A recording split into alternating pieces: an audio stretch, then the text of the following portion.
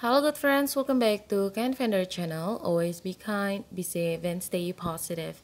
In today's video, we're gonna show you how to leave beta program on your Google Play Store. So this means that you're able to leave all the beta program that you have joined on your Google Play Store. So now, how to do this? But before we get started, please consider to subscribe to our channel and don't forget to turn on the notification. Thank you. Alright, so now let's get started. First of all, go to your Play Store. And right here, you'll see your profile logo. Tap on this and make sure that this is the correct account that you want to use to leave beta program.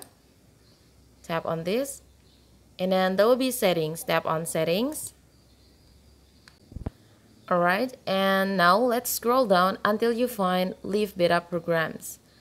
Tap to leave all beta programs that you've joined.